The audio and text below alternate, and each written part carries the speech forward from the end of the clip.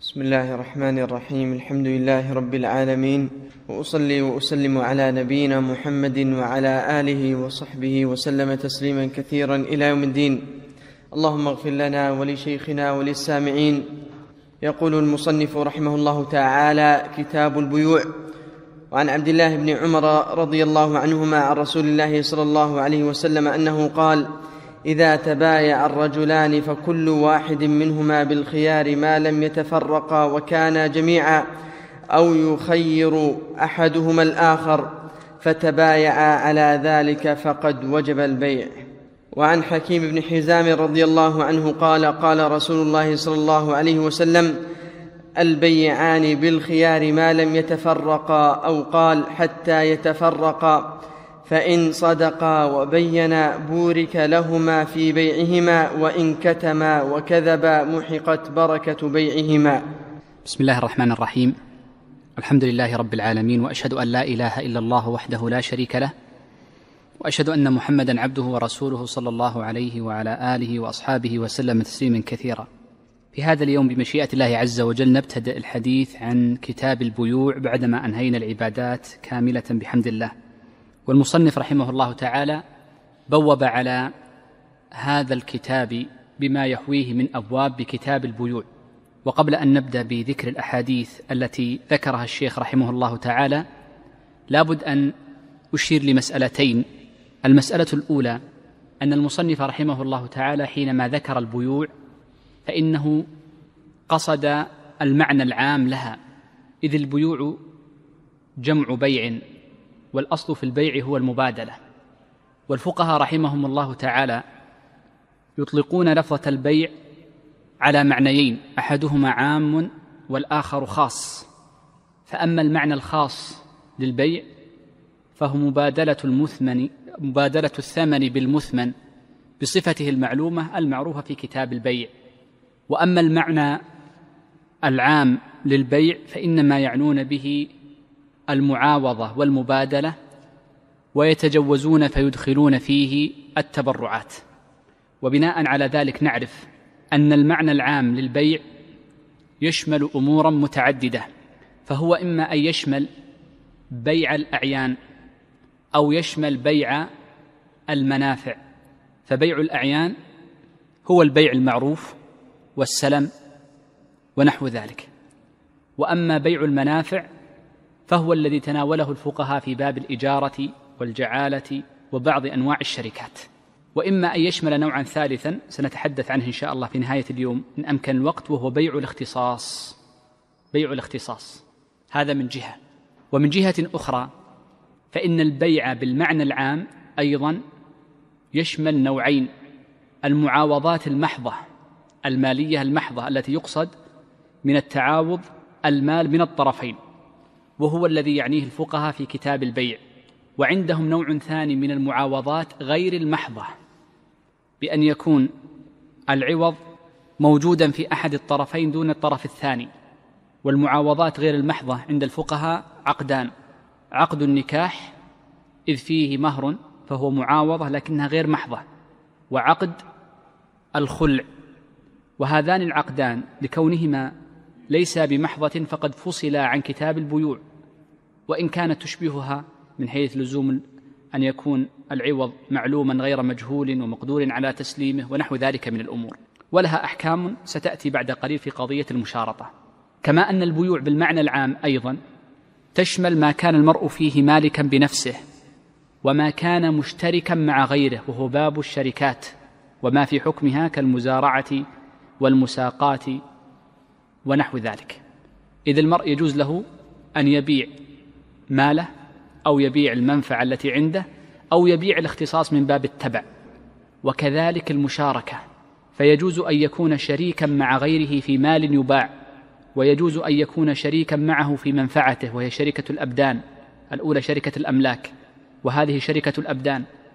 ويجوز أن يكون أحدهما منه المال والآخر منه المنفعة وهي شركة العنان وهي شركة المضاربة.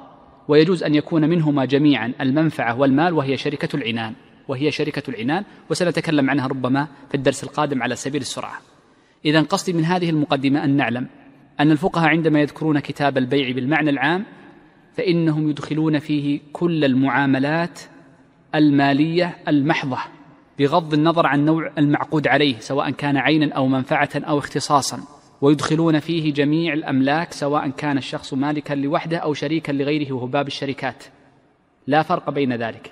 إنما يخرجون من باب البيوع المعاملات المالية غير المحضة وهما عقدان عقد النكاح وعقد الخلع فيرون أن هذين العقدين لشرفهما ولأن المعقود عليه ليس مالا محضا فصلا بحكم مستقل وسيأتي الحديث عنه في محله. هذه المسألة الأولى التي أردت أن أبينها وهو أن هذا المصطلح عند الفقهاء واسع. المسألة الثانية وهي مهمة معنا جدا. أن نعلم أن الأصل في البيوع الإباحة. وهذا قول جماهير أهل العلم ما ينقل عن داود بن علي الطائي عليه رحمة الله من أنه قال إن الأصل في البيوع والمعاملات الحرمة فيه نظر ولا شك. وهو محجوج بالإجماع السابق قبله عليه رحمة الله. فالأصل في البيوع الحل إلا ما استثني لقول الله عز وجل وأحل الله البيع. ونحن قلنا إن كلمة البيع لها معنيان عام وخاص. فإن حملناها على المعنى العام فأحل الله عز وجل كل المعاملات وحرم الربا. فلا يوجد شيء في الشريعة محرم إلا ثلاثة أشياء فقط. ما عدا هذه الثلاثة أشياء كله حلال بلا شك. الأمر الأول ما كان من باب الربا. ما كان ربا. وسنتكلم إن شاء الله في الدرس القادم في بيان حد الربا. الأمر الثاني ما كان منهيا عن بيع ذاته مثل نهي الشارع عن بيع الخمر والخنزير. نعم قد يتوسع الفقهاء في أشياء ويخالفهم فيها آخرون مثل توسع بعض الفقهاء فيقول النهي عن بيع النجاسات. بعض الفقهاء يرى حرمة بيع النجاسات وبعضهم يرى جواز ذلك. ونحو ذلك من الأمور التي سنتكلم عنها ربما في آخر حديث اليوم وهو حديث النهي عن بيع الكلب. الأمر الثالث الذي نهي الشارع أو نهى نهي عن التعامل به ما كان من باب الغرر. وبعض الفقهاء يسميه الميسر والميسر هو أشد الغرر لتردده بين الوجود والعدم. يفقد بالكلية. بينما الغرر وجود الصفة ووجود الحقيقة كاملة ونقصانها وهي بمعنى واحد. إذا انتفت هذه الأمور الثلاثة فإن البيع حلال مطلقا. ولذلك لو جاء شخص فقال إنه قد جاء عند الناس عقد جديد. لنقول مثلا عقد المقاولة اللي هو عقد البناء عقد الاستيراد عقد التوريد عقد هذه العقود الجديدة عقد الإيجار المنتهي بالتملك. أي عقد والعقود تتولد في كل يوم. نسأل أول شيء هل المعقود عليه محرم لذاته كأن يكون؟ ميتة أو خنزير ونحو ذلك؟ لا. هل هو ربا؟ ثم تنظر في هذا. هل فيه غرر بين؟ لا. إذا العقد حلال. هذا العقد إذا نقول هو حلال. ولو كان عقدا جديدا أو عقدا مركبا من عقود أو له من الصفات ما ليس في الصفات القديمة الموجودة المتعارف بها عند الفقهاء الأوائل. ولذلك عقود الشركات تغيرت الآن وأصبح فيها من التغير والتجديد الشيء الكثير الذي لم يكن موجودا عند الأوائل. وأضرب لكم مثالا واحدا. مثلا وجد في الثلاثين سنة أو الخمسين سنة الأخيرة ما يوجد بالشركات المساهمة. لم يكن الفقهاء يعرفون هذه الشركات ذات المسؤولية المحدودة التي لها شخصية منفصلة عن شخصية الشركاء المساهمين فيها. وذلك لما جاءت جديدة استنكرها بعض الذين لم يعملوا هذه القاعدة على الإطلاق وهو أن الأصل في الأشياء الإباحة عندما جاءت. ثم استقر الأمر الآن تقريبا على أن مثل هذه الشركات الأصل فيها الإباحة وإن لم تكن معروفة الأوائل بحجة ماذا؟ أن الأصل في المعاملات والمعاوضات الإباحة. إذا عرفنا هنا الأمور الثلاثة وسنمر عليها في أثناء الشرح بمشيئة الله عز وجل. وقبل أن نبدأ بحديث عبد الله بن عمر وحكيم بن حزام رضي الله عنهما سأذكر تقسيما مهما يفيدنا في ذكر أو في فهم لما ابتدأ الشيخ رحمه الله تعالى بهذين الحديثين بالخصوص. هذه العقود عموما أو البيوعات على سبيل الإجمال تنقسم إلى قسمين.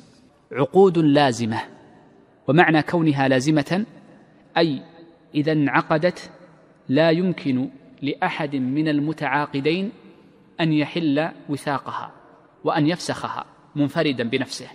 لا يمكن. هذا سمى عقود لازمة. وهذه العقود اللازمة لا تنفسخ إلا بالتراضي. أن يتراضى الطرفان أو لسبب من الأسباب التي سنذكرها بعد قليل وأحدها الخيار. وإما أن تكون العقود عقودا جائزة. ونقصد بالجائزة هنا ليس التي بمعنى الحلال وإنما نقصد بالجائزة التي يجوز لكل واحد من المتعاقدين أن يرجع عن هذا العقد فيحل هذا العقد. فيحله وقت ما يشاء مثل الوكالة. الوكالة عندما أوكلك وقت ما أشاء لي الحق أن أفسخ العقد. ومثل عقد الجعالة عند الفقهاء ومثل القرض على مشهور المذهب خلافا للشيخ تقي الدين عندما رأى التأجيل أنه ينعقد بالتأجيل. ومثل عدد من العقود التي ذكرها العلم والكفالة لأحد الطرفين مثلا وهكذا الوديعة عقد جائز. هذه عقود جائزة. إذا عرفنا ما الفرق بين الجائز واللازم. الجائز هو العقد الذي إذا عقده المسلم جاز له وقت ما يشاء أن يفسخه. والعقد اللازم هو الذي إذا عقده وكمل بشروطه وأركانه فإنه لا يجوز له أن يرجع فيه إلا بتفاسخ برضا من الطرفين أو بوجود, بوجود واحد من الأسباب التي سأذكرها بعد قليل. وما عدا ذلك ليس له حق ابتداء رضا. واحد باع لشخص سيارة ثاني يوم قال أنا لا أريد أن أبيعها. نقول ليس لك الحق. خلاص لازم العقد. يجب عليك أن تسلم العين. يجب عليك أن تسلم الثمن وجوبا. وهكذا. طيب. إذا كان العقد لازما أي لا يجوز التراجع فيه فإنه لا ينحل إلا بأمور ذكرنا الأمر الأول وهو ماذا؟ قبل قليل التراضي بأن يتراضى الطرفان وهذا في الحقيقة ليس انحلال هو إقالة. وبعض الفقهاء يرى أن الإقالة عقد جديد ينحل به العقد الأول. طيب. ولكنه ينحل بأمور أخرى. منها قالوا إذا كان هذا العقد قابلا للتأقيت فإنه ينحل بانتهاء مدته. مثل عقد الإجارة فإن عقد الإجارة تتأقت بشهر بسنة بعشر سنين. إذا انتهت هذه المدة فإن العقد ينحل. خلاص انتهت الإجارة. لزم رد العين لمالكها ولا يحق للمستأجر أن ينتفع بها إلا بعقد جديد وإلا فإنه يكون متعديا. هذا واحد.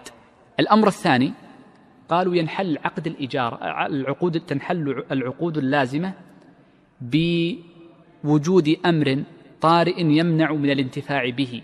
وهذا الذي يسميه الفقهاء رحمهم الله تعالى بوضع الجوائح مسألة الجوائح السماوية التي أمر الشارع بوضعها. وسنتكلم عنها إن شاء الله إن أمكن في مسألة بيع الثمار والأصول الأصول والثمار. الأمر الثالث هو الذي سننطلق منه لشرح الحديثين. قالوا العقد اللازم شوف العقد اللازم ينحل وينفسخ باختيار من له حق الخيار. إذا عرفنا الآن كيف لماذا بدأ الشيخ بهذا الباب؟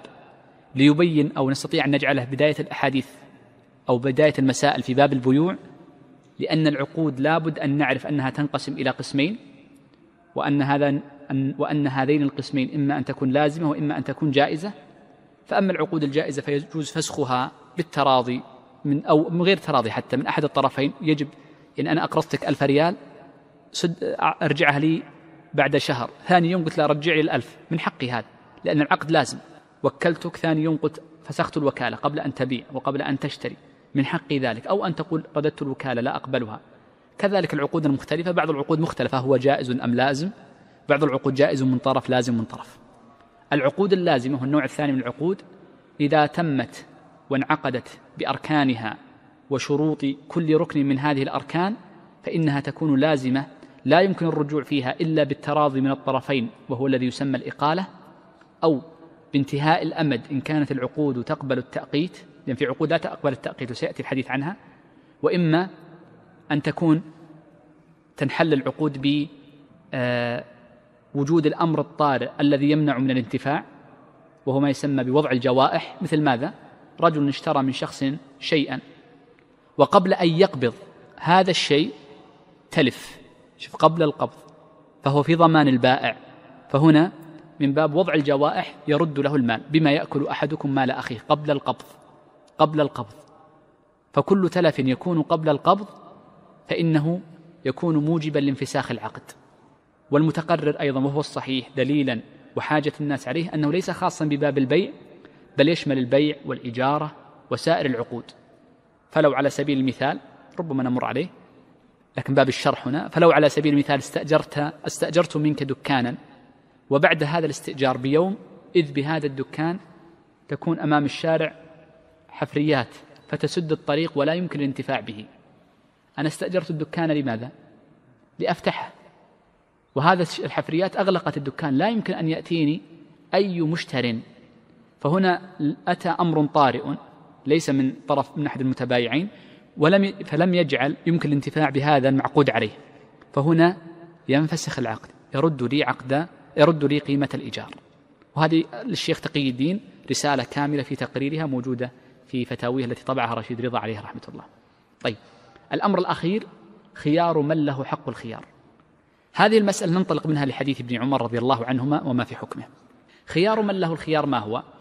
العقد ينعقد صحيحا وقد يكون لأحد المتبايعين أو كليهما معا الخيار في أن يمضي العقد أو يبقيه.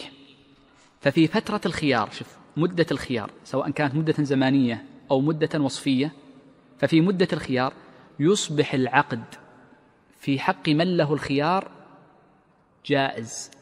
شوف يصبح العقد في حق من له الخيار. طيب عقد بيع.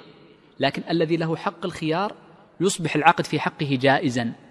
يجوز له أن يمضيه ويجوز له أن يحله. يفسخ العقد. يفسخ العقد. ولذلك بدأ الشيخ رحمه الله تعالى بذكر أحكام الخيار السبب لأن بيوع المنهي عنها ترجع بعد ذلك للخيار من جهة ولأنها من أهم الآثار في التفريق بين العقود اللازمة والعقود الجائزة في قضية انحلال العقد ولزومه. بدأ الشيخ رحمه الله تعالى بذكر حديث عبد الله بن عمر رضي الله عنهما أن النبي صلى الله عليه وسلم قال إذا تبايع الرجلان هنا قوله تبايع أي تعاملوا بالبيع والشراء. والصحيح أن هذا من باب التغليب أو أنه جاء بمعنى البيع بالمعنى العام. فكل عقد مالي محض شوف عبارتي فكل عقد مالي محض يدخل فيه خيار المجلس. البيع الشركات الإجارة السلم وهكذا كل سائر العقود المسمات وغير المسمات التي نعرفها جميعا. كل العقود يدخل فيها ذلك لأنه ماذا من العقود؟ المالية المحضة. العقود المالية غير المحضة لا يدخل فيها خيار المجلس. في التقسيم الذي ذكرت لكم قبل قليل مهم لأن سأبني عليه كثير من المسائل بعد قليل. أنا أتيت بالتقسيم في البداية بدل ما آتي في كل مسألة في محلها ذكرت التقاسيم الأربعة في البداية. العقود المالية غير المحضة وهي النكاح والخلع لا يجري فيه خيار المجلس. فلو أن امرأ زوج آخر زوجتك ابنتي فقال قبلت ليس له حق الخيار يقول سوف أفسخ العقد. وإنما هذا متعلق بالعقود المالية المحضة ولذلك الفقهاء يذكرون العقود المالية المحضة في باب البيوعات ويقولون هو المعنى العام لمصطلح البيوع فقول النبي صلى الله عليه وسلم إذا تبايع الرجلان هذا من باب المعنى العام للبيوع وهي البيوع المالية المحضة. إذا تبايع الرجلان أيضا كلمة الرجلان يعني هذا الوصف طردي. فلو تبايعت امرأتان لو تبايع شريكان لو تبايع أي شخص آخر لا يلزم أن يكون رجلين. فكل واحد منهما بالخيار ما لم يتفرقا وكانا جميعا. هذا الحديث إلى هنا. يدلنا على مسألة مهمة وهي ما يسمى بخيار المجلس. ومعنى خيار المجلس أن الشخصين أو الرجلين إذا تبايعا أحدهما قال بعت وقال الثاني اشتريت أو قال أجرت وقال الثاني استأجرت أو اشتريت منك سلما وقال الآخر قبلت وهكذا أو صرفه مالا نقديا وهكذا حتى الصرف يدخل فيه الخيار. كل عقد من العقود لكل واحد من المتبايعين الخيار. في أن يفسخ العقد. إلى متى؟ إلى أن يتفرق من هذا المجلس. إلى أن يتفرق من هذا المجلس. ولو طال المجلس ساعة كاملة فإن الخيار يستمر ساعة كاملة. ولذلك يقول النبي صلى الله عليه وسلم فلكل. فكل واحد منهما بالخيار. ما لم يتفرقا أي من المجلس. من أهل العلم من يقول ما لم يتفرقا بالكلام. نقول لا ليس بصحيح. لأن ثعلبا نقل عن المفضل وهو أحد علماء اللغة أنه قال يتفرقا بالأبدان ويفترقا باللسان فزيادة المبنى زيادة في المعنى فلذلك يتفرقا بمعنى أنه التفرق بالأبدان. ويدل على ذلك أن ابن عمر رضي الله عنه كان يعمل ذلك فقد جاء أنه بايع عثمان بن عفان فخرج لكي يدلل للناس ويبين لهم أن المقصود من الحديث إنما هو التفرق بالأبدان. وسأذكر الخلاف في هذه المسألة. وفيه يعني بعض المسائل المتعلقة به. إذا أريد أن نفهم دلالة الحديث في نفسه أنه دال في نفسه على أن المتبايعين إذا جلس إذا تبايع في مجلس فما دام بأبدانهما في ذلك المجلس فلكل واحد منهما الخيار في حل ذلك المجلس. طيب لو كان هذان المتبايعان في مكان لا يمكن لهما أن يتفرقا فيه كأن يكون في سفينة مثلا. فيقول في السفينة سيجلسون أربعة أشهر قديما في الزمان الأول وهم في ظهر السفينة. هل نقول إن هذه السفينة كلها في هذه المدة أربع أشهر يكون الخيار موجودا أم لا؟ نقول في هذه الحالة لخصوص هذه المسألة افتراقهما نسبي. فصعود أحدهما على ظهر السفينة وبقاء الآخر في بطنه هذا تفرق بالأبدان. المكان البعيد الكبير مثل الساحة الساحة ساحة البيع هذه ساحة تفرقهما بأبدانهما بحيث أن يكون شخص في جهة وآخر في جهة وإن كان الساحة مفتوحة على بعضها لا يلزم الخروج من تلك الساحة ما دام الساحة كبيرة. هذا يعتبر تفرقا بالبدن فيكون قد انتهى الخيار المجلس.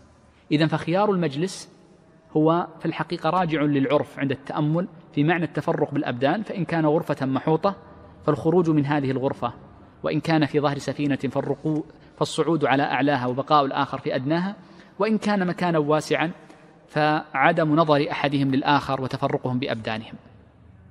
الآن جاءت أشياء أخرى في التعاقد وهو مثل التعاقد بالهاتف. فإن التعاقد بالهاتف الآن أصبح الناس يتعاقدون وتصح التعاقد بالهاتف إلا إلا العقود غير المحضة وهو النكاح. أما الطلاق فيجوز لأنه فرقة يجوز بالهاتف.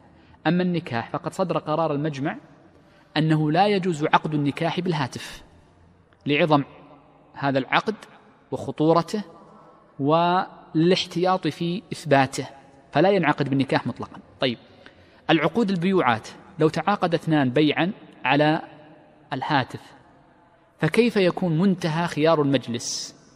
كثير من المعاصرين يرى أن انتهاء مدته بقطع الخط أو انقطاع الخط.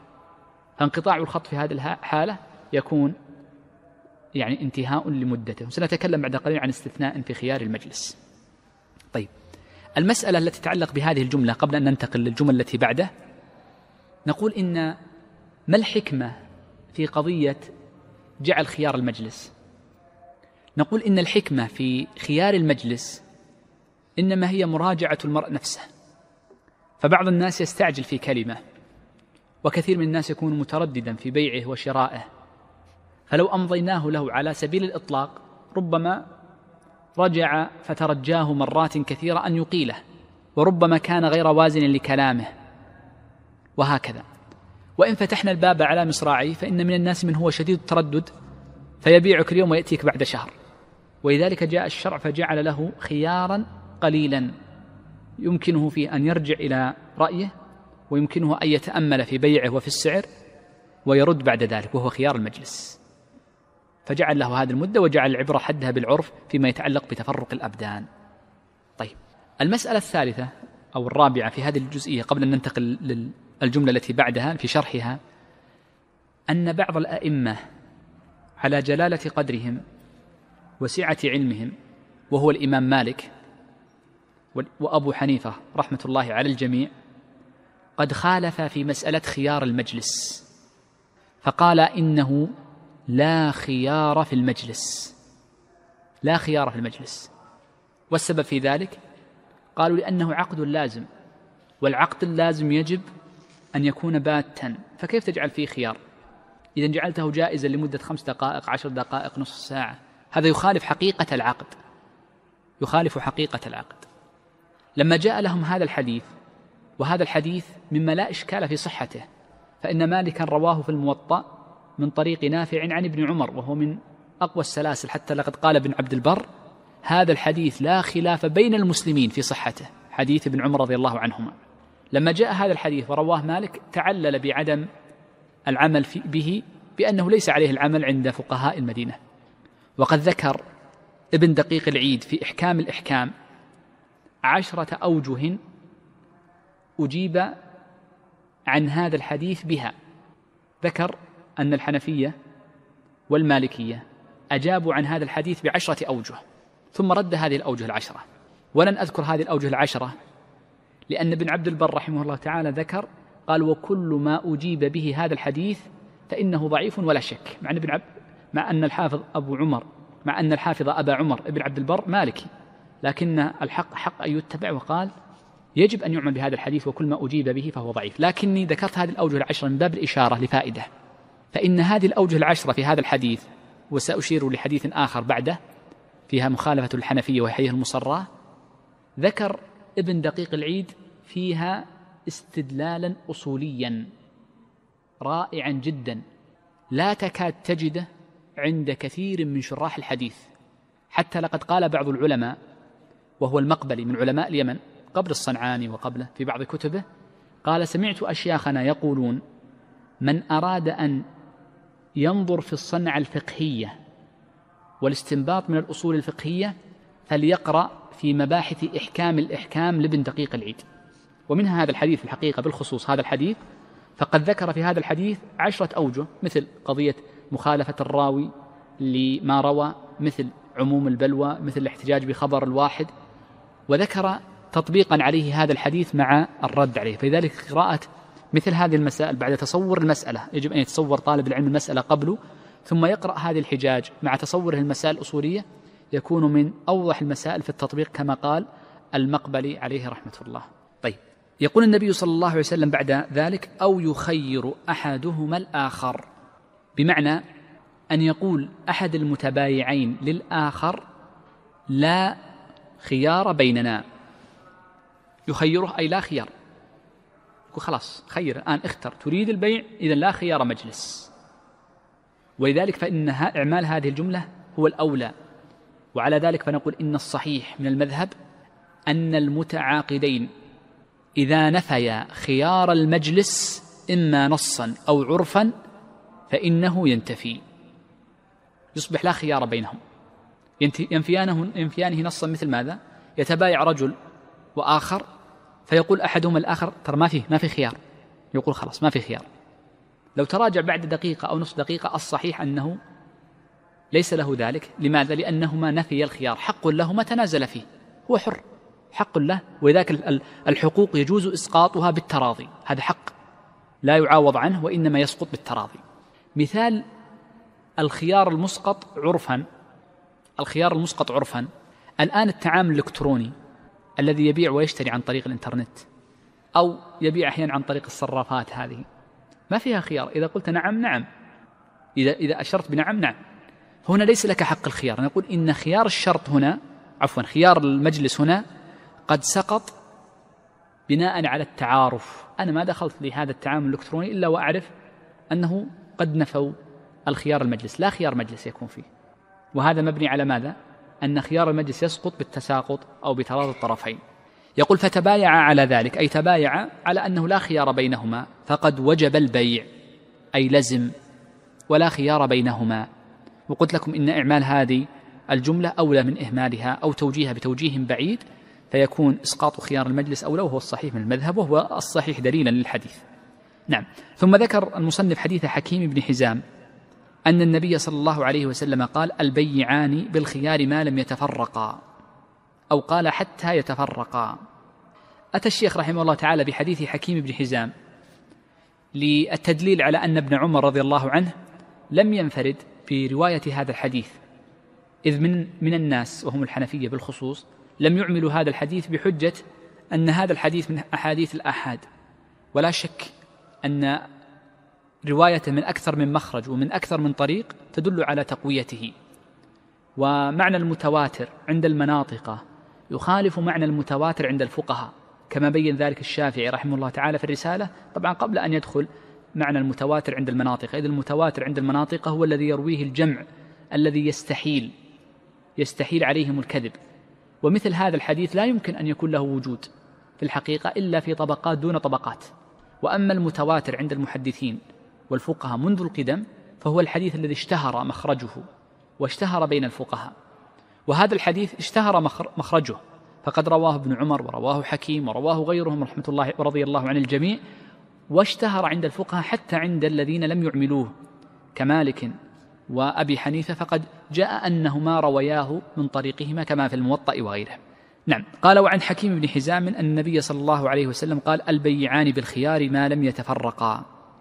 طبعا أيضا من فوائد ذكر حديث حكيم أن حكيم من الصحابة الذين تأخر إسلامهم فإنه من مسلمة الفتح رضي الله عنه وكان على اسمه حكيما عاش ستين سنة في الجاهلية وستين سنة في الإسلام رضي الله عنه وكان من كبار تجار الصحابة مع أنه لم يأخذ من العطاء الذي أمر به عمر.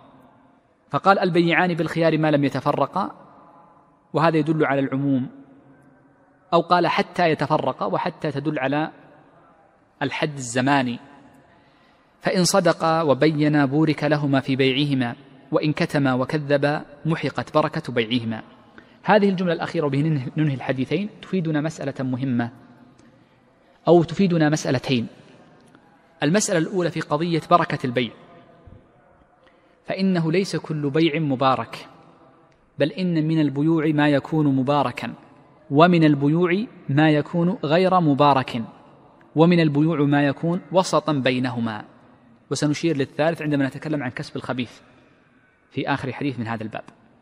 فأما البيع المبارك فإنه الذي فيه يكون ربح من جهة ربح.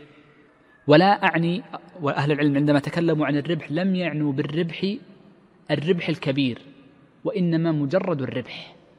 مجرد الربح بركة. وأما الربح الكبير فلا يلزم أن يكون بركة. ولذلك ذم الله عز وجل أو آه يعني ذكر أنه فتح أبواب كنوزه لقارون وغيره فجاءتهم أموال وأنه يمد الكافرين مدا يزيدهم من الربح الكثير. فليس كثرة الربح علامة البركة وإنما مجرد الربح. هذا واحد. المعنى الثاني في بركة البيع قالوا أن لا يشغل البيع عن معنى شرعي.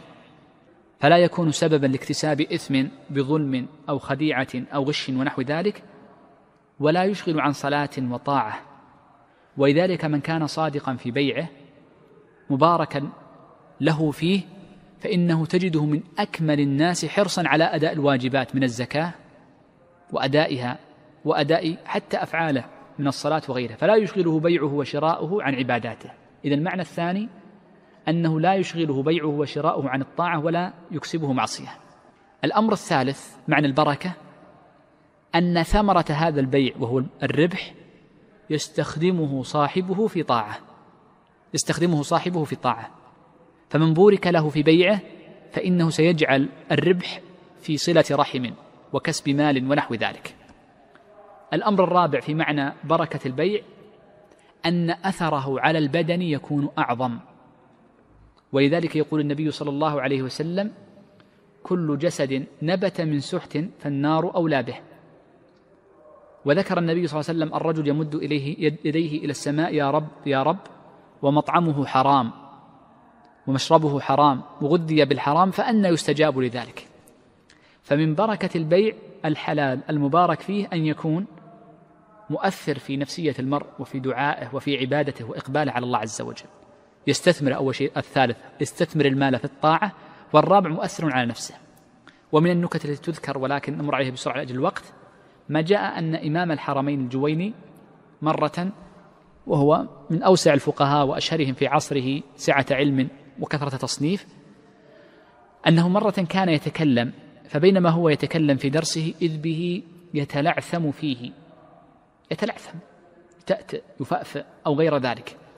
فطأطأ رأسه في درسه وقال هذا من أثر تلك المصة. شيئا قليلا فرجع لحالته.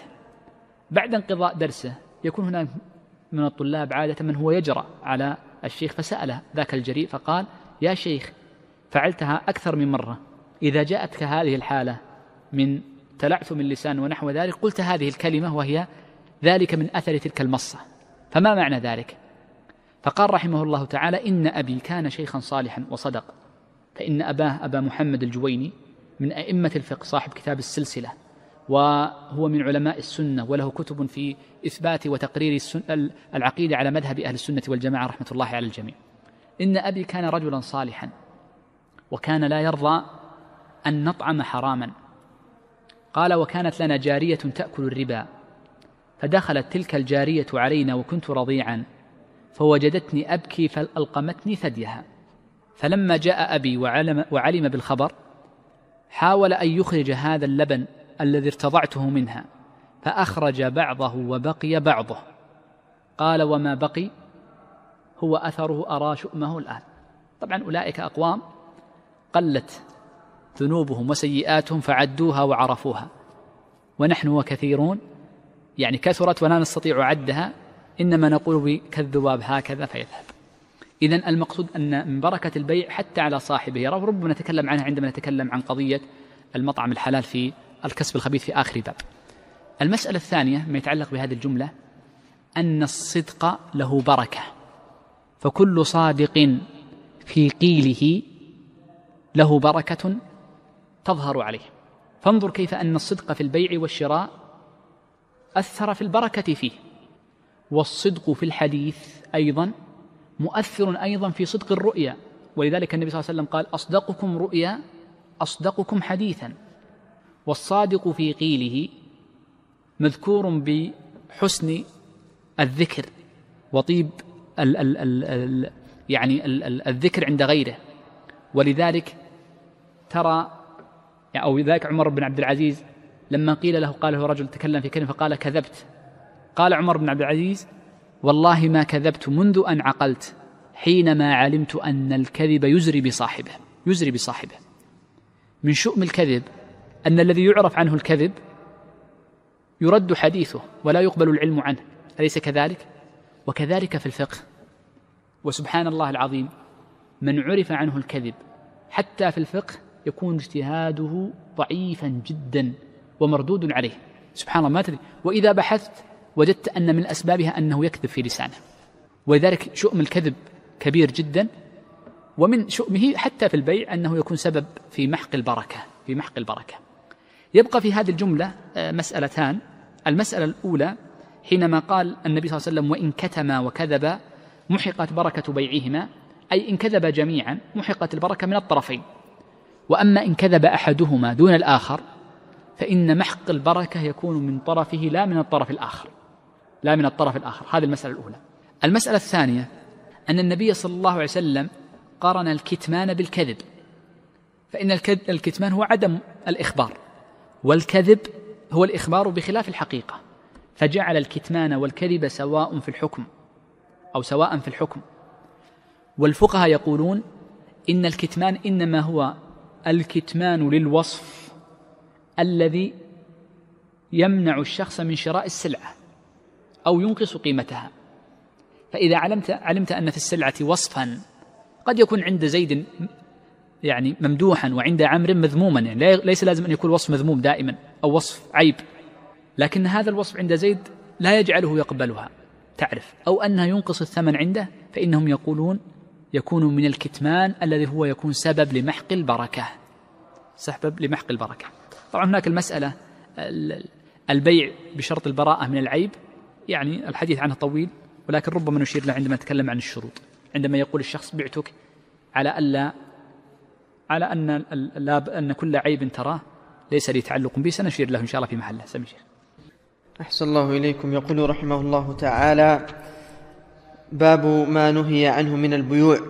عن أبي سعيد الخدري رضي الله عنه أن رسول الله صلى الله عليه وسلم نهى عن المنابذة وهي طرح الرجل ثوبه بالبيع إلى الرجل قبل أن يقلبه أو ينظر إليه ونهى عن الملامسة والملامسة لمس الثوب لا ينظر إليه.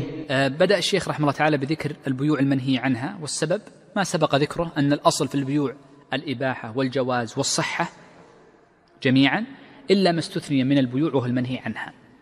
قبل أن نبدأ بذكر هذه البيوع المنهي عنها لنعلم أن النهي في البيوع ينقسم إلى نوعين وهذا التقسيم مؤثر ومهم في معرفة صحة العقد. إذا يجب أن نفرق بين أمرين بين كونها حلالا وحراما وهذا الحكم التكليفي وبين كونها صحيحة وفاسدة وهذا هو الحكم الوضعي. فقد يكون البيع حرام لكنه صحيح. لكنه صحيح. وضحت المسألة؟ طيب. نحن نقول إن البيوع المنهي عنها في الشرع تنقسم إلى قسمين. بيوع إلى بيوع نهي عنها لحق الله عز وجل وبيوع نهي عنها لحق العباد. مثال الأول العقود ال ال ال أو البيع بيوع الأشياء المنهي المحرمة البيوع المحرمة التي نهي عن بيع ذاتها مثل الخمر والخنزير هذه لحق الله أم لحق العباد؟ لحق الله. إذن لو باع امرؤ خنزيرا أو خمرا أو ما في حكمهما أو ما ألحق بهما فإن العقد باطل. يجب أن يرد لهذا الثمن ولهذا العين. يجب. حتى لو تلفت العين يجب عليه أن يرد. باع شخص لآخر خمرا يرد له الثمن حتى لو شرب الخمر. طبعا الصحيح لا ما يرد له الخمر الثمن وإنما الثمن يؤخذ منه عقوبة ويجعل في المصارف. وهذه للشيخ تقي فيها رسالة. رسالة كاملة في أنه يؤخذ منه. الثمن الذي اشترى به الخمر ويجعل في مصارف المصلحة ولا يرد لشارب الخمر لأنه بذله في حرام. طيب. الربا نهي عنه لحق الله ولحق لحق الله ولحق العباد. لحق الله. لحق الله. إذا ذكرنا الآن اثنين من الثلاثة. إحنا قلنا المنهيات عنها ثلاث أشياء. الأشياء المنهي عنها لذاتها منهي عن بيعها والثانية الربا. اثنين من المنهي عن البيوع المحرمات في البيوع نهي عنها لحق الله عز وجل. أليس كذلك؟ الربا حق الله عز وجل. وإن كان عندهم الربا لحق الله عز وجل. حتى لو تراضيا. أنا وأنت متراضين. الآن الذي يذهب للبنك أو لشخص ويقترض منه عقد بربا راضي بكمال أهليتي ورضا وعلم تام بمبلغ رضا. فهو لحق الله عز وجل. لا شك أن ما, ما ينهى الله عز وجل إلا شيء فيه مصلحة للعباد. لا شك. لكن أساسا لحق الله. النوع الثاني قلنا الذي هو لحق العباد. الذي هو لحق العباد النوع الثالث وهو ماذا؟ إحنا قلنا المنهي عن ثلاث أشياء. نسيتوا. الربا والذي قلت قبل أطلب منكم أن تذكروه. والثالث الذي هو المنهي عنه لذاته ذكرنا اثنين. باقي إيش؟ الغرر. الغرر إنما نهي عنه لحق العباد. طيب ما الذي ينبني على ذلك؟ ينبني على ذلك أن ما نهي عنه لحق الله فإنه باطل فاسد. والباطل والفاسد سواء عند الجمهور. وما نهي عنه لحق العباد فإنه صحيح لكنه معلق على رضا صاحب الحق. وهذه المسألة على الراجح وهو اختيار الشيخ تقي الدين وهو الأقرب والذي تستقيم به أحوال كثير من الناس. في رواية في المذهب قوية جدا تقول إن كل بيع منهي عنه فإنه فاسد سواء كان لحق الله أو لحق العباد. وسيمر معنا. بيع المنابذة لحق العباد لأنه غرر. فالفقهاء المذهب يقولون إنه باطل. ومن الفقهاء من يقول إن البيوع والمنهيات عنها. إن كان المنهي عنه لذات المعقود عليه فإنه فاسد وإن كان لصفة من صفاته فإنه ليس بفاسد. والصحيح ما ذكرت لكم قبل قليل التفريق بين حق الله وحق العباد. طيب. يقول الشيخ عن أبي سعيد الخدري أن رسول الله صلى الله عليه وسلم نهى عن المنابذة وهو طرح الثوب وهو طرح الرجل ثوبه بالبيع إلى الرجل قبل أي قبل يقلبه أو ينظر إليه. آه، هنا ذكر في حديث أبي سعيد نهي عن بيعين بيع المنابذة وبيع الملامسة. وفي هذين الحديث وفي هذين البيعين أو في هذا الحديث تفسير لهذين البيعين. فإنه ذكر أن المنابذة هي طرح الرجل ثوبه بالبيع إلى الرجل قبل يقلبه قبل أن يقلبه أو أن ينظر إليه. هذا التفسير ذكر الحافظ بن حجر أن ظواهر الروايات التي في الصحيحين أنها من قول النبي صلى الله عليه وسلم. وجاء في رواية عند النسائي أنه قال وزعم أنه طرح الرجل وكذلك. قالوا وقوله زعم يدل على أن الذي قال زعم ليس الصحابي لأن الصحابي لا يمكن أن يقول النبي صلى الله عليه وسلم زعم يعني النبي صلى الله عليه وسلم. وإنما الراوي عن أبي سعيد فتكون مدرجة فيكون التفسير مدرج على هذا الرأي على رواية النسائي رحمه الله تعالى. وبناء على ذلك نقول إن الفقهاء رحمهم الله تعالى اختلفوا في تفسير معنى المنابذة والملامسة. بناء على ماذا؟ بناء على هل التفسير هذا مرفوع للنبي صلى الله عليه وسلم أم هو مدرج بناء على رواية النساء التي فيها وزعم؟ فمن الفقهاء من قال طبعا المنابذة والملابسة بمعنى واحد أو متقارب وفي في معناهما بيع الحصات فمن الفقهاء من قال إن المنابذة والملامسة متعلقة بالصيغة. ما معنى ذلك؟ يقولون إن هذا قول بعض الشافعية. يقولون معنى وهذا طبعا قول ضعيف سأذكره بعد قليل ما أدري عليه. معنى المنابذة يعني يقول يقولون إن النبي صلى الله عليه وسلم نهى عن المنابذة والملامسة. بدل ما أقول لك بع واشتريت خذ وأعطيتك. كأنه نبذ إليه أو لمسه. لمسه فقط. فيقول هذا منهي عنه. إذا كان النبذ والملامسة نائبين عن الصيغة ما في صيغة. والشافعية عليهم رحمة الله لا يرون بيع المعاطاة. إلا لما جاء الغزالي فقال يجوز حاجة الناس كلهم بيع المعاطاة. كل واحد منا يدخل بقال يمكن ما يكلم صاحب البقال ما يعرف عربي أحيانا. تعطيه ويضرب بالآلة تشوف السعر قدامك وتعطيه وانتهينا. ما كلمته ولا كلمك. خذ وأعطني هذا بيع معاطاة. الشافعي يقول ما يجوز. لما تكلم الغزالي قال هذا صعب. في الزمان الأول تعامل الناس كثير فيه فقال يجوز في الأشياء الخسيسة دون النفيسة. والحقيقة أنه يجوز مطلقا وهذا الدليل لا يدل عليه مطلقا. فهذا معنى بعيد جدا وقد ثبتت أحاديث أخرى تدل على المعاطاة. إذا التفسير الأول أن المنابذة والملامسة والحصاة أيضا متعلقة بالصيغة قول ضعيف وإن كان ذكره الشافعية بالخصوص. طيب ومن الفقهاء من قال إن المراد بهذا المنابذة والملامسة نفي الخيار. بمعنى أن يقول إن هذه السلعة لك حتى تلمسها أو حتى أنبذها إليك حتى أنبذها إليك. إذا نبذتها إليك انتهى خيارك. انتهى الخيار. هذا من باب نفي الخيار. فإن كان المقصود نفي الخيار المقبول مثل خيار المجلس نعم. وأما نفي خيار الرؤية فإنه لا ينفى إلا بانتهاء صفاته سنشير له بعد قليل إن شاء الله في محله. فهذا مقبول. ومن الفقهاء من قال إنها متعلقة بالعلم. بالعلم ليس بالخيار بالعلم. فيكون الذي نهى عنه النبي صلى الله عليه وسلم هو أن تشتري شيئا لا تعلمه. فالذي يطرح لك يكون. والذي تلمسه في الليلة الظلماء خذ هذه عشرة أقمشة. الذي تلمسه منهم باب الخيار فهو بخمسة أو في الليلة الظلماء يكون اللمس نائبا عن الرؤية في الليلة الظلماء من غير تأكد مما يحس. فيكون متعلقا بماذا؟ بالعلم. هذه ثلاثة أشياء. تفسيرات. مجمل ما قيل. أقوال كثيرة. كلها لا تخرج عن الأشياء الثلاثة. إما متعلقة بالصيغة أو بالخيار أو متعلقة بالعلم. وهذا وهذا التفسير الثالث هو الأقرب للحديث. لأنه قال هو طرح الرجل ثوبه بالبيع قبل أن يقلبه أو ينظر إليه. خلاص هذا بخمسة. بخمسة خذ يرمي عليه الثوب. ما يدري الثوب مشقوق ليس بمشقوق. ما لونه ما جودة الثوب مراد به القماش. ما لونه ما جودته ما طوله ما قصره لا يعرف شيء. فهو جهل بالمبيع. ولذلك هذا في الحقيقة دليل على عدم صحة المبيع المجهول الذي لا يعرف وصفه. لا يعرف وصفه. وفي مثله الملامسة وهو لمس الثوب لا ينظر إليه. في الليل ينظر له. أما لو كان مما يعني يمكن إدراكه باللمس مع معرفة السبق السبق بمعرفة وصفه هذا أمر آخر لكن لا فقط مجرد اللمس في الليل مثلا أو مع إغلاق العينين فإنه منهي عنه إذن هذا الحديث بهذه التفاسير يدلنا على ماذا؟ على أن النبي صلى الله عليه وسلم نهى على الصحيح اللي هو التفسير الثالث وهو الصحيح الذي دل عليه الحديث وظاهر رواية الصحيحين أنه من تفسير النبي صلى الله عليه وسلم وهو الأقرب أن المراد بالملامسة والمنابذة بيع ما لم يعلم صفته وإنما بمجرد اللمس أو النبذ أو الحصاة أو ما في حكمها.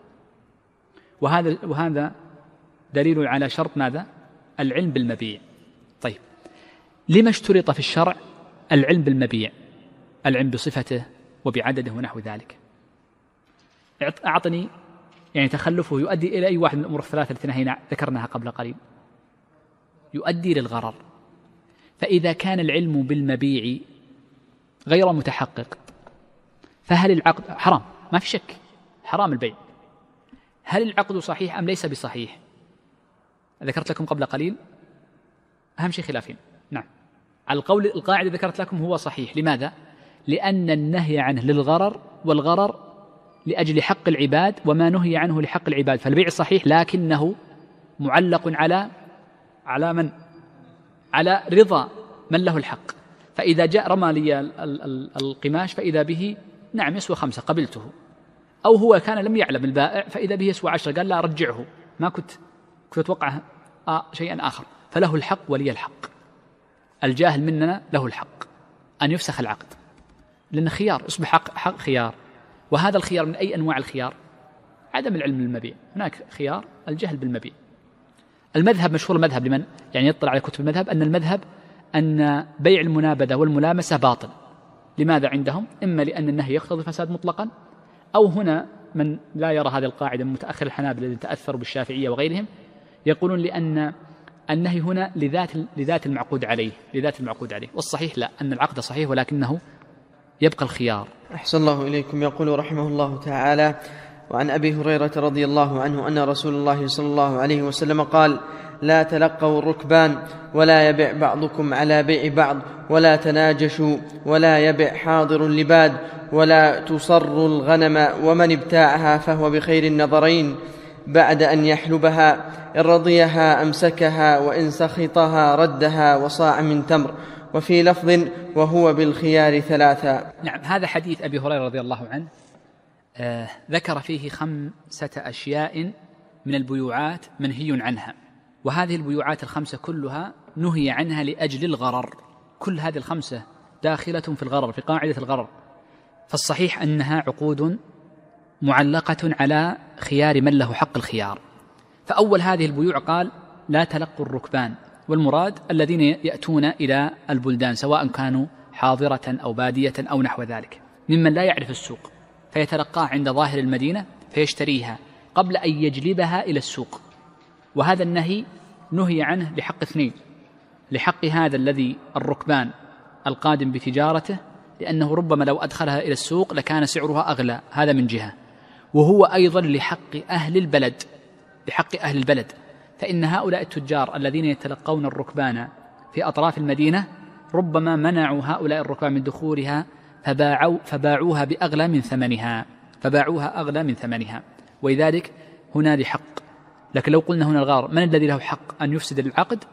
إما الشخص الركبان أو أهل البلد. إذا علموا فيقولون يذهب في داخل البلد وتباع بالقوة. وهذا مثل الأحاديث التي جاءت في قضية الاحتكار وما في معناه. هو القاعدة واحدة في الجميع. طيب. قال ولا يبع بعضكم على بيع بعض. معنى ولا يبع بعضكم على بيع بعض؟ أي إذا انعقد البيع. انظر. إذا انعقد البيع. وكان في مدة الخيار. وكان في مدة الخيار. فجاء شخص آخر. فقال إني أريد أن أشتري أو أن أبيع على بيع أخي.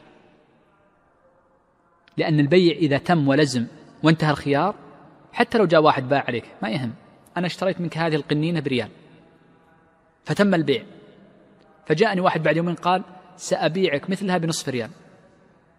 هذا بيع على بيع أخي الأول. هنا ليس لي الحق أن أفسخ العقد الأول إلا لأجل وجود مثلا تدليس إذا كان السعر أغلى من الثمن. هنا ليس داخلا ليس مقصود في الحديث. المقصود في الحديث في وجود الخيار وهما خياران خيار مدة الشرط أو خيار المجلس. إذا بعتني هذه القنينة بريال وخلال مدة خيار المجلس شوف خلال مدة خيار المجلس أو خلال مدة خيار الشرط وكان البائع الثاني يعلم أن هناك شرطا بينكم فيأتيك البائع الثاني أو يأتيني أنا البائع الثاني فيقول سأبيعها لك بنصف ريال. هذا منهي عنه. لا تبع على بيع أخيك. إذا متى يكون البيع على بيع أخيه في مدة الخيار؟ خيار المجلس وخيار ماذا؟ الشرط بشرط أن يكون عالما بوجود هذين الخيارين الذي هو البائع الثاني. في حكم البيع على بيع أخيه الشراء على شرائه وقد ثبت أيضا رواية لا يشتري على شرائه صورتها سهلة أشتري منك هذه القنينة بريال. وخلال مدة الخيار خيار الشرط أو خيار المجلس التي هي لل... للبائع يأتي شخص آخر يقول سأشتريها منك بريالين. أغلى. هذه بريالين. وفي معناها أيضا قالوا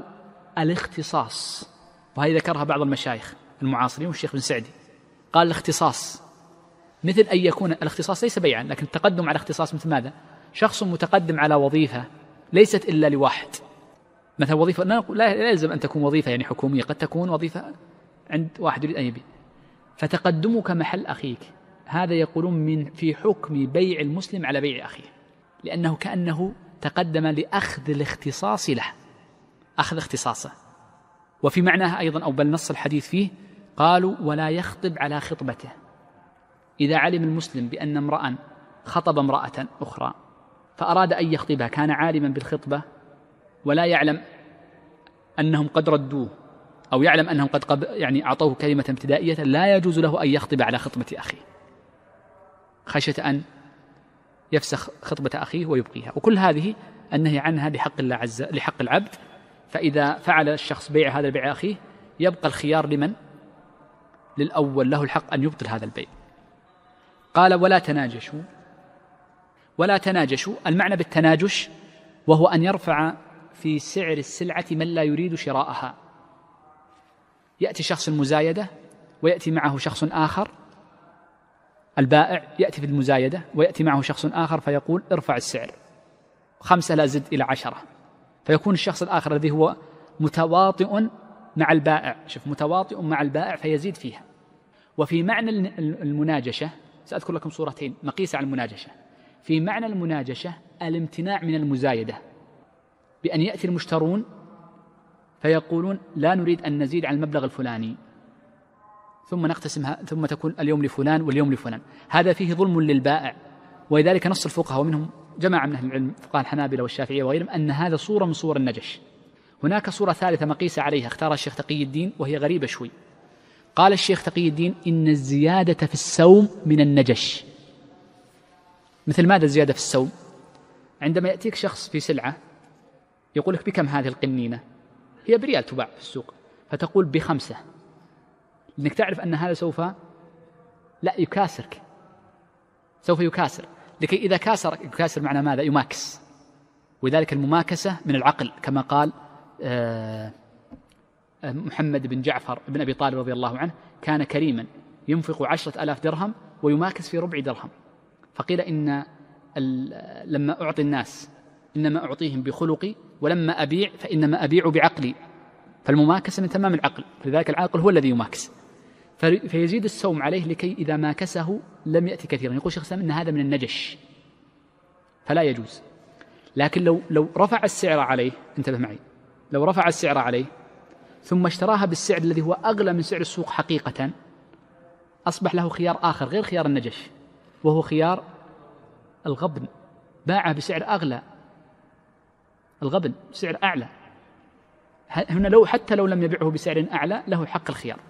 لأنه زاد عليه السوم هذا رأي الشيخ تقي الدين وهو مسألة فيها نظر يعني عند الفقهاء وخلاف. وهذا أكثر الباعة ولذلك الرسول قال التجار فجار إلا من صدق وبر وقليل ما هم. والإمام أحمد لما تكلم عن أفضل الكسب قال أفضله الإجارة. ثم ذكر الشيخ رحمه الله تعالى البيع الرابع المنهي عنه قال ولا يبع حاضر لباد. والمراد ببيع الحاضر للباد ما جاء تفسيره في حديث ابن عباس وسيأتي بعد حديثين قال لا يكون له سمسارا. بمعنى أن لا يأتي الحاضر للبادي الذي في السوق فيقول له أنا سآخذ منك هذه السلع وأبيعها لك. لأنه أراد عرضها في السوق ووضعها فيه فتباع بسعر سوقها. وإنما يجوز وهذه مسألة مهمة إنما يجوز بيع الحاضر للباد يعني أن يكون سمسارا للباد مثل ماذا الباد صاحب المزارع يأتي بالخضروات والفواكه. متى يجوز للحاضر أن يكون سمسارا له؟ قالوا في أحد ثلاث صور. يجوز له. الحالة الأولى إذا جاء البادي بسلعته لهذا الحاضر قصده فقال بعها لي. جاءك وقصدك في محلك قال بعها لي هنا تبيعها فتكون سمسارا له. تبيعها والربح لك والربح بينكما أو على أجرة أو ما اتفقتما عليه. بخلاف ما إذا لم يأتي لم يقصده وإنما وجده في السوق فإنه لا يجوز له أن يأتي ويقول أنا سأخذها منك وأتولى بيعها عنك. الأمر الثاني قالوا أن لا ينوي البادي تخزينها وإنما ينوي بيعها. إذ بعض السلع يمكن تخزينها كأن تجعل في البيادر أو المستودعات والمخازن. فما أمكن تخزينه جاز للحاضر أن يكون سمسارا له فيه فيبيع الحاضر للبادي في هذه المسألة. إذا هذه المسألة الثانية أعيدها. صورتها. هناك أشياء يريد البادي البادي ليس معنى بادي أنه من البادية وإنما البادي الذي ليس من الحاضرة. مزارعا بدويا معه أقط ومعه سمن في الزمان الأول. رجل لا يعرف البلد قد يكون حاضرا في بلده التي هو فيها لكنه بالنسبة لهذا البلد باد أي خارج عنها. أراد أن يأخذ هذه السلعة ويجعلها في مستودع تجمع لتباع في نهاية السنة لتباع في نهاية الشهر. فما دام أنها جمع في مكان لم لم ينزلها في السوق الآن لتباع. لم يأتي البادي فيباعها في السوق في الحرج وإنما أراد أن يجمعها لكي تباع مرة واحدة. كونه أراد جمعها معنى ذلك أنه أراد فيها سعرا معينا. طيب هذا الأمر الثاني.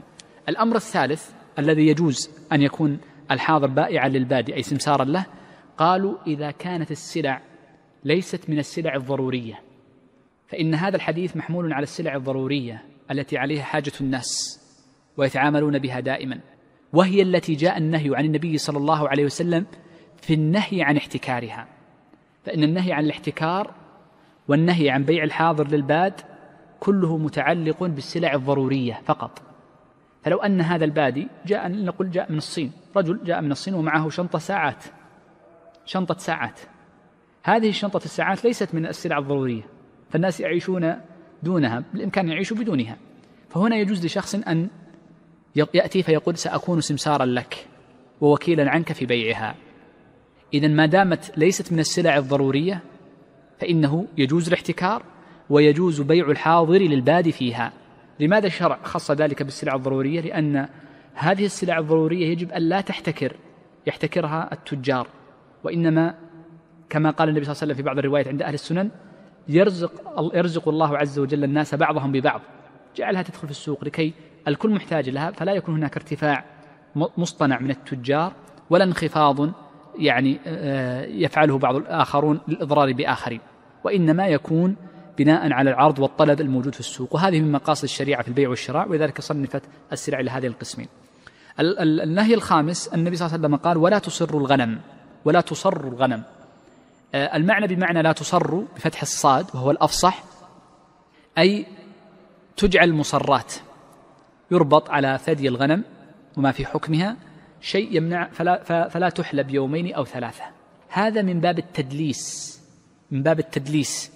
على المشتري لأنه يأتي فيشتري الشاة أو يشتري الماعز ويرى ضرعها مليئا فيظنها ذات حلاب كثير لها تخرج لبنا كثير.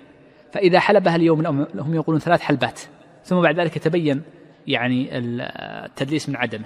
فإذا حلبها في اليوم الأول سيأتي في اليوم الثاني أو الثالث فيكتشف أنها ليست كذلك وإنما هي مدلسة. ولذلك نهى النبي صلى الله عليه وسلم عن التصرية تصرية الغنم.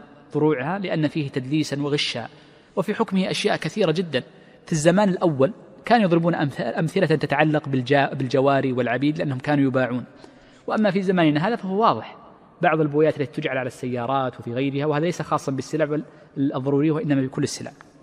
ثم قال النبي صلى الله عليه وسلم ومن ابتاعها أي ابتاع المصرات فهو بخير النظرين. الفقهاء قالوا ومن ابتاعها فهو بخير النظرين هو عائد للأخير فقط هذا مذهب وأما السابقة الأربعة فكلها باطلة. واختار الشيخ تقي الدين قلنا وهو الصحيح أن من ابتاعها فهو بخير النظرين إلى هنا تقف. لو لم تكن هناك تكملة أنه يشمل جميع البيوع الخمسة السابقة كاملة. فيشمل كل الخمسة فإنه بخير النظرين. وهذا سبق تأصيلها قبل قليل. قال فهو بخير النظرين بعد أن يحلبها. بعد فإن رضيها يعني رضي بحالها وإن كانت مصرات أمسكها وإن سخطها يعني لم يرضها ردها وصاعا من تمر. هذه المسألة من المسائل الكبار التي خالف فيها الحنفية الجمهور. فقالوا إنه لا يمكن أن يعمل بحديث أبي هريرة في المصراة لأنه مخالف للقاعدة الفقهية. القاعدة الفقهية ما هي؟ أن من أتلف شيئا ضمن مثله أو قيمته. عندما يتلف الشخص شاة فإن الشاة هل هي مثلية أو قيمية؟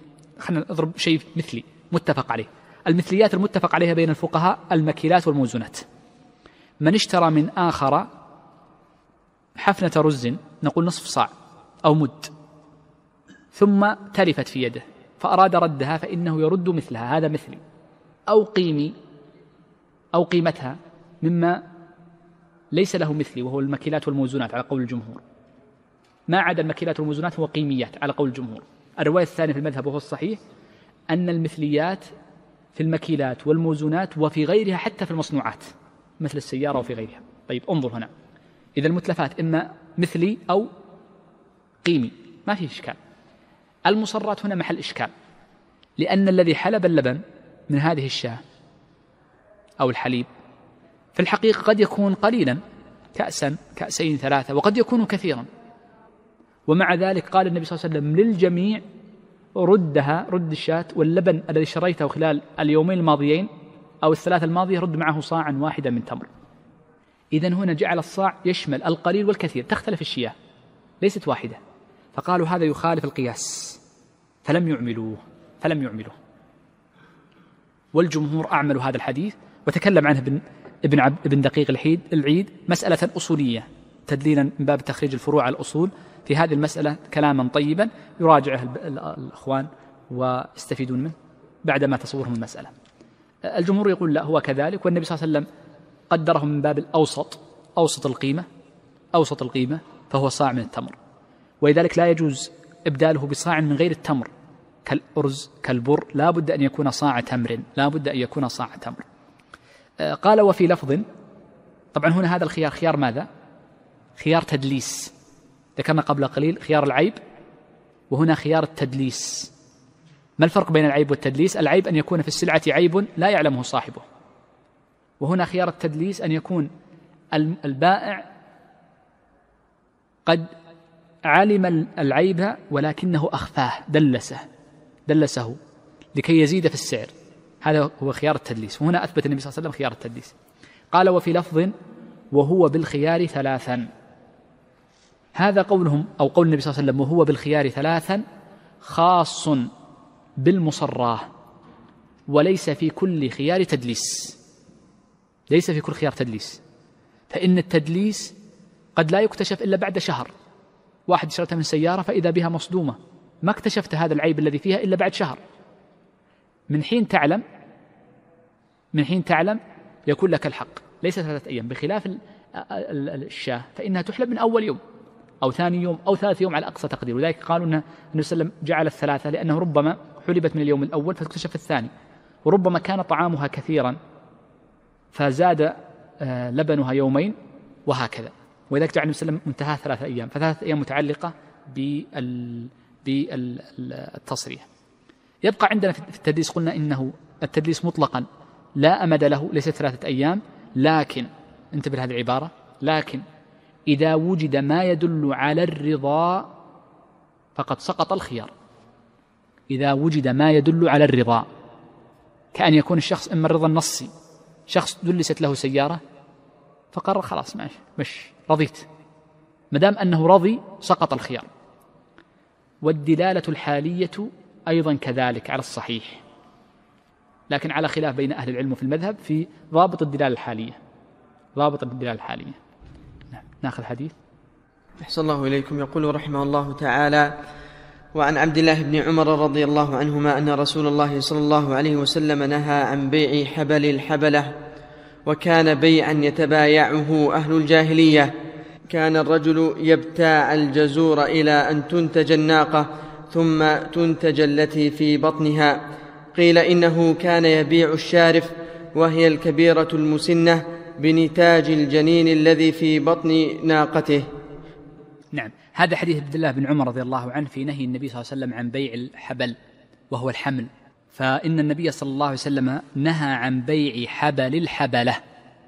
الحبل هو الحمل والحبلة الحامل. وهو في معنى النهي عن بيع الحبل. هو معنى بيع الحمل. وإنما ذكر النبي صلى الله عليه وسلم حبل الحبلة يعني الحمل الثاني النتاج الثاني لأن هذه الصيغة وهذه الصورة كانت مشهورة عند أهل الجاهلية. فذكر هذه الصيغة. فما, فما في حكمها في معناها. من حكمها لا شك دخولا أولويا الحبل. طيب ما معنى النهي عن حبل الحبلة؟ لها معنيان ذكر في هذا التفسير وكلاهما صحيح. التفسير الأول طبعا قال وكان بيعا يتبايعه أهل الجاهلية. قوله وكان يتبايعه أهل الجاهلية نستفيد منها ماذا؟ أن النبي صلى الله عليه وسلم سماه حبل الحبلة. فأتى باللفظ الحبل الحبل لأن تعامل الجاهلية. وربما الناس غيروا فيه فجعلوا البيع للحبل الأول فنقول هو منهي عنه. ولذلك استفدنا هذا من قوله وكان بيعا يتبايعه أهل الجاهلية. التفسير الأول هو الذي قال كان الرجل يبتاع الجزور إلى أن تنتج الناقة. ثم تنتج التي في بطنها. هذا الذي يسمونه البيع إلى أجل. استدل الفقهاء خلينا نأتي بمعناها ثم نقول ما الذي استدل ما استفاده الفقهاء من هذه الجملة. معنى هذه الجملة أن الشخص يبتاع الجزور يبتاع الناقة يبتاع أي شيء. هنا مثل بالجزور الناقة. إلى أن تنتج الناقة. إلى أن تلد. فإذا ولدت هي أو غيرها ثم نتج النتاج بعده دائما تنتج بعد ثلاث سنوات نقول. نقول إن الناقة بعد ثلاث سنوات تلد ربما. الله أعلم بعضها تتأخر وبعضها تقبل التلقيح وبعضها لا تقبل التلقيح. فإذا حملت بنت بنتها رد له الناقة الأولى. وضحت الصورة؟ إذا يقول أنا سأشتري منك هذه الناقة إلى حين تلد وهي حامل. ثم التي ولدتها تلد مرة أخرى فأرد لك الناقة الأولى. أردها لك. إذا بيع مؤقت إلى أجل مجهول. أول شيء هذا منهي عنه لسببين بيع باطل. لأن لأن صفة العقد والشرط الذي فيه يخالف حقيقة العقد. شوف انظر خلنا أتيكم بقاعدة ثم أطبقها على هذه. أي شرط في العقود ينقسم إلى قسمين. المحرم طبعا ليس الصحيح. الصحيح الذي فيه مصلحة يجوز. أي شرط باطل في العقود ينقسم إلى قسمين. شرط يخالف حقيقة العقد وشرط يخالف مقتضى العقد. الشرط الذي يخالف حقيقة العقد هو الذي يخالف حقيقة العقد. ما حقيقة العقد؟ التمليك يلغي التمليك. فالذي يخالف حقيقة العقد يعود على العقد بالبطلان فيكون العقد باطلا. انتبه معي. النوع الثاني من الشروط المحرمة الشروط التي تخالف مقتضى العقد أي أثر العقد. ثمرة العقد. قد توجد وقد لا توجد أحيانا. فالشرط وحده يبطل والعقد صحيح. سأطبق هذا الشرط الذي ذكر هنا على قاعدة ذكرناها. الأصل إذا بعتك شيء هو ملكك. هو ملكك. هذا الأصل. لما أقول لك إن هذا الذي في ملكك مدة معينة ثم سيرجع لي خالف حقيقة العقد. ما صار بيع هذا. صار ليس بيعا ليس ملكا. ليس ملكا عقد آخر ما هو الله أعلم. إذن خالف العقد أبطله. لكن انظر الشرط الثاني الذي يخالف مقتضى أثر العقد. لو قلت لك بعتك هذه السيارة على ألا تبيعها لأحد ممكن أنت أصلا تجلس معك السيارة ما تبيعها تتلف. وممكن تبيع هذا مقتضى أثر العقد بيع السيارة. مقتضى العقد هذا يبطل الشرط. ولذلك قال النبي صلى الله عليه وسلم كل شرط ليس في كتاب الله فهو باطل. اشتريها وأعتقيها فإن الولاء لمن أعتق. هنا أبطل الشرط لأنه من آثار العقد وليس حقيقة العقد. إذا هذا النهي الذي جاء أن يسلم وهو في تأقيت العقود الذي لا تقبل التأقيت تأقيت العقد الذي لا يقبل التأقيت يعود للعقد بالبطلان. مثل ماذا الآن؟ خلينا نطلع من العقود المالية العقود الم... غير غير غير المحضة. عقد النكاح. لو تزوج رجل امرأة وقال تزوجتك لمدة شهر باطل. ما نقول صحيح. والشرط باطل باطل بالكلية. لأن هذا الشرط نقل خالف حقيقة العقد. إذ حقيقة العقد أن النكاح نكاح رغبة ليس تأبيد. التأبيد هذا هذا زواج النصارى. نكاح رغبة. ما يكون في طلاق. فنقله بهذا الشرط إلى عقد آخر محرم وهو نكاح المتعة. نكاح المتعة. ولذلك المحققون من أهل العلم قالوا إن الزواج بنية الطلاق الموجود الآن عند الناس هو محرم. لأن الزوج والزوجة قد تشارطا شرطا عرفيا إن لم يكن نصيا غير مكتوب على المفارقة فجعلوا العقد مؤقتا فهو عقد محرم. وهو الذي أفتى به الشيخ رحمه الله تعالى من باز كما في الجزء التاسع والعشرين من فتاوي أن هذا العقد محرم الزواج بنية الطلاق بحسب ما يتعارف عليه الناس في زماننا. طيب إذا هذا هو التفسير الأول من تفاسير هذا. بعض أهل العلم جعله لأجل أجل المجهول والأجل المجهول أيضا ربما يأتي إلى حديث آخر. المعنى الثاني ما فسره الشيخ انتهى الوقت شيخ؟ طيب في دقيقتين أو دقيقة. التفسير الثاني قال إنه كان يبيع الشارف وهي الكبيرة المسنة بنتاج الجنين الذي في بطن ناقته وهو أن يجعل النهي الثاني معنى حبل الحبلة هو بيع ما في البطن. فيأتي الشخص فيبيع الشارف يقول بعتك هذه الناقة في مقابل الحمل الذي في بطن الناقة الثانية الشارف الكبيرة. كبيرة. التي يعني لا ترجى لركوب ولا لحمل ولا ما في معناه. فيبيعها بالحمل الذي لم يولد بعد. وهذا منهي عنه لأجل الجهالة. ما يجوز. ولذلك بعض الناس يبيع الحمل في بطن الناقة. ولها صور الآن لما كثر الناس تعاملهم بالإبل الآن. أصبحوا يجعلون لها صيغ متعددة كلها عائدة للنهي عن بيع الحمل الحبل. وفي معنى بيع الحبل أشياء كثيرة جدا منها بيع الضراب. عندما يأتي شخص فيبيع ضراب الذكر الفحل ما يجوز لأنه مجهول. تحمل ما تحمل كم مقداره الله أعلم. هذا من جهة. في معناه بيع البيض في بطن الدجاجة قبل أن يخرج. ما يجوز. لكن متى يجوز بيع هذه الأشياء؟ إذا كانت من باب التبع. يبيع الناقة مع حملها. الناقة واحدة مثلا بعشرة ألاف مثلا. وهي حامل ب 11 يجوز. هذا من باب التبع لأن القاعدة الشرعية أن التابع تابع. فيجوز تبعا ما لا يجوز استقلالا. ولكن بيعها على سبيل الانفراد محرم. طيب آه، أسأل الله عز وجل للجميع التوفيق والسداد وصلى الله وسلم على نبينا محمد. هنا بس سؤال أحد الإخوان يقول إذا اشتريت غرضا في السوق وانكسر أو تلف في يد المشتري هل يلزمني دفع العوض؟ بسرعة نقول إذا انكسر العوض فله حالات. الحالة الأولى إن كان بتفريط منك فلا شك. فلا شك أنك تضمن. بتفريط واضح التفريط. الأمر الثاني إذا كان من غير تفريط تقلب السلعة فانكسر. إن كان قبل التبايع فقد نص الفقهاء على أن السلعة المعروضة إذا أخذها المشتري وهو يقلبها أو يمشي بجانبها فسقطت من غير فعل منه ليس هو الذي رماها قصدا فإنه لا ضمان عليه ما يلزم أن يضمنها. يشتري مثلا كاس الموية هذا خلينا نحن اليوم معنا فيها قنينة. حملتها معي قبل أن أصل إلى المحاسب سقطت مني وانكسرت. ضمانها ليس علي عليه هو لأنه في باب التقليد على على البائع لأنه ليس بتفريط مني. إذا كان بعد البيع وقبل القبض لم أقبضها بعد فضمانها على الصحيح على البائع. إذا كان بعد البيع وقبل القبض فضمانها على المشتري ما لم يكن تفريطا. هذه حالاتها الثلاث عندما يتلف المبيع. أسأل الله عز وجل الجميع التوفيق والسداد وصلى الله وسلم على نبينا محمد.